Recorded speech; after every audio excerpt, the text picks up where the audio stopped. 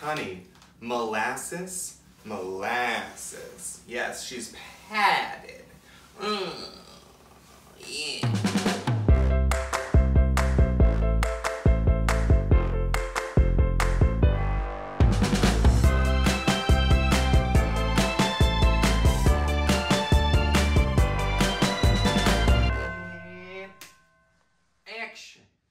Hello there, I'm Phoebe Jeebies, and welcome to yet another episode of Phoebe Gets Baked, the holliest, jolliest show that your grandmother is following on Instagram. Ooh, wordplay. We have concluded our Thanksgiving pie countdown, and now, those are sleigh bells. We're moving on to Christmas holiday Christmas and holiday recipes. I'm a big lover of Christmas, but these recipes are not exclusive to Christmas. Today, we're gonna be baking ginger and molasses cookies. Woo woo! Let's make some ginger and molasses cookies, gingerbread. The very first thing we're going to do, cream our room temperature butter with our dark brown sugar. So we're gonna take our nice soft butter, like butter, The like butter. like butter. Mm, Get my butter in my hair. I'm gonna give it just a little bit. Start to get it going. Now I'm gonna add our dark brown sugar. One cup going in.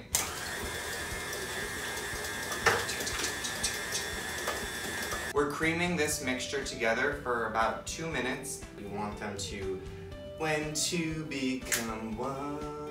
Is tonight, is the night when two become one. Is that the song? The Spice Girls? I don't That's what you want. And just make sure you stop it once or twice so that you can scrape down the side of your bowl to make sure that all the butter and sugar get mixed together.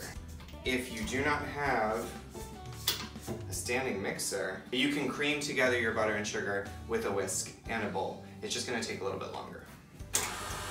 So it's been about two minutes. I have creamed the butter and brown sugar together. You'll see the color start to lighten a bit and it will start to look really fluffy, kind of like uh, marshmallowy texture. And that means that you are correctly creaming your butter and your sugar together. It should get really light, really fluffy, really almost airy.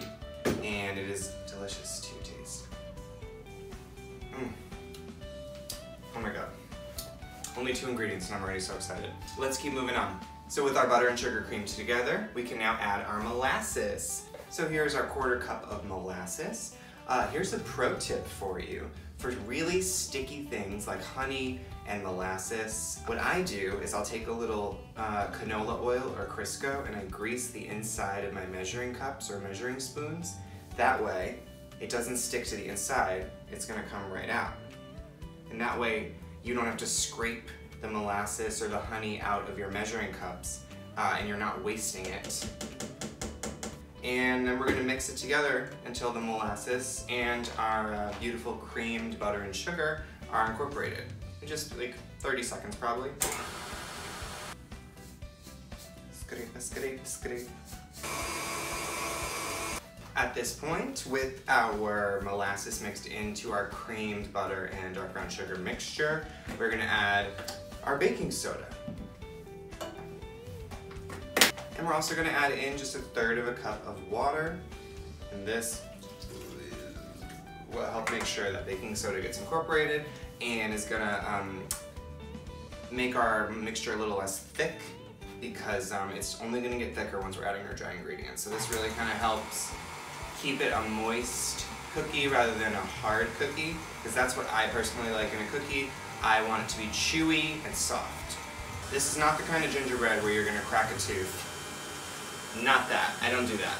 The water that you add, you want it to be room temperature because if it's too cold, it's gonna cause this mixture to separate. Uh, if it's too hot, it's gonna cause, I don't know what it would do. it's not gonna be good. Um, so if your mixture starts to separate and it looks like you did something wrong, don't panic. Just mix it together on really high speed and everything will incorporate back together. It just means maybe the temperatures weren't exactly right when you put them together. Now we're gonna move on from this mixture to our dry ingredients, get those ready, and then we'll mix them all together. So let's get to it. Here we are with our dry ingredients. I already got them all portioned out for us.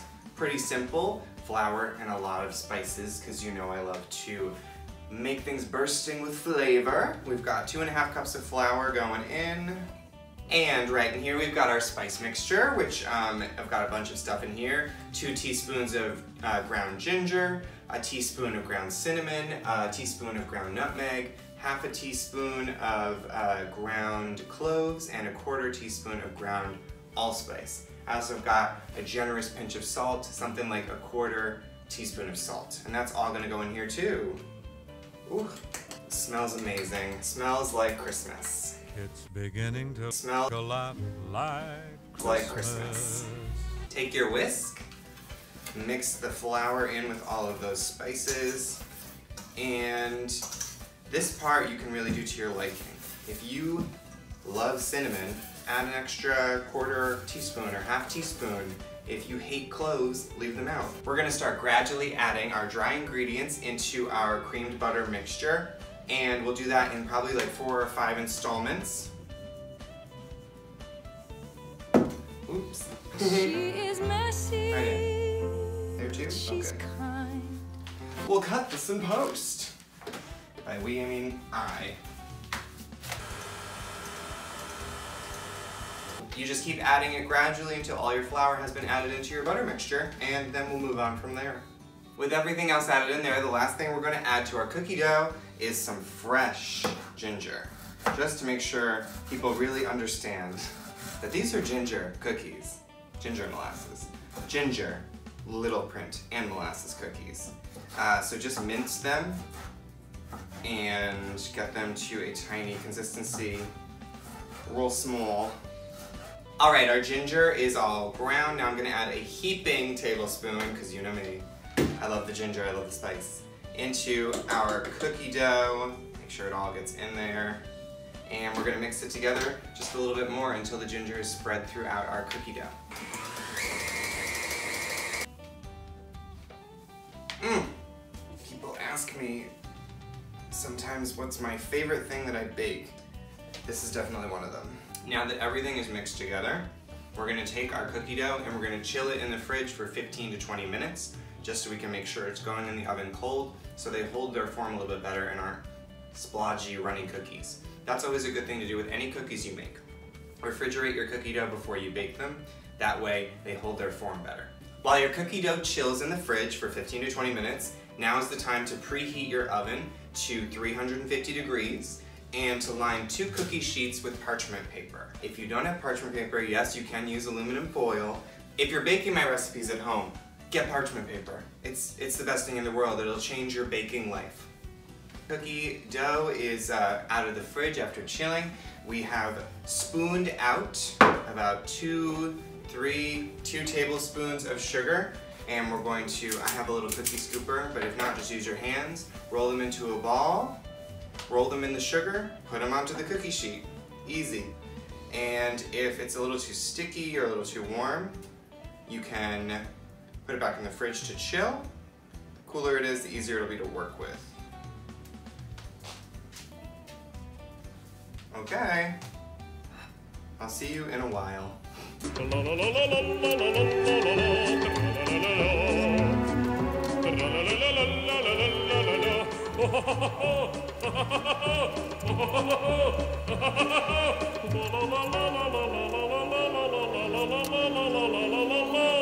Cookies have been rolled in sugar and are on the cookie sheets and now we're going in the oven at 350 degrees. I'm gonna say about 12 minutes, but let's see what actually happens. This is one of the recipes I kind of do from my brain. See you in 12 minutes. Maybe. Hey, Phoebe! Yes? These cookies look delicious. That's so nice of you to say. But I know they were in the oven for 14 minutes.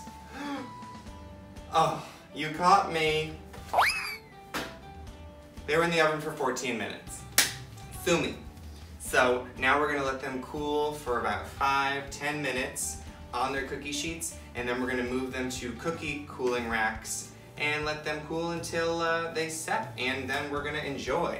Our cookies have cooled on these lovely wire rack cooling sheets, and that's that. Ginger and molasses cookies. Put them on a plate, serve them to your friends, quarantine circle, whatever. They look amazing, they taste amazing, they smell amazing. They smell like the holidays.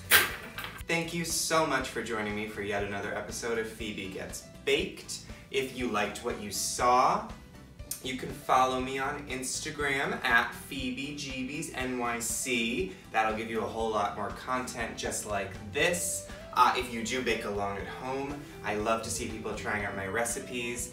Share it, uh, photos or videos or just your experience with the hashtag PhoebeGetsBaked. And tag me too, I want to see them. If you really enjoy this episode and you want to support my art, you can send a virtual tip and you can do that on Venmo or Cash App at PhoebeJeebiesNYC. And if you love this recipe and you want to purchase it, I sell my recipes for $5 a pop. You can send that to the same handle at PhoebeJeebiesNYC. Wishing everybody a safe holiday season. Uh, we will be back for another special Christmas episode in two weeks, and I look forward to seeing you then.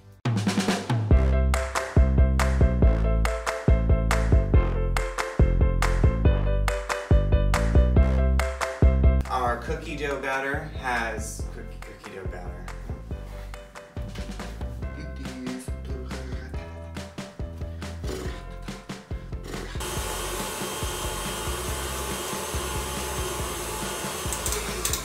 You're not my real father. Okay, then our ginger. We'll get in our ginger. We'll get in our ginger.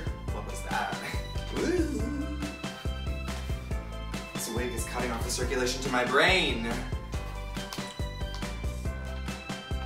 Mm, mm, mm. Tis the season to follow me and subscribe on YouTube. See you next time. David?